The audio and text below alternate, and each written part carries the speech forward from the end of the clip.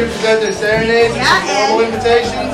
Uh, we hope that you saved a little bit of your voices. We understand that you guys have seen a bunch of serenades tonight, but our voices are working real hard on this and they're real proud of them. And I know that they spent some time practicing uh, specifically for you all.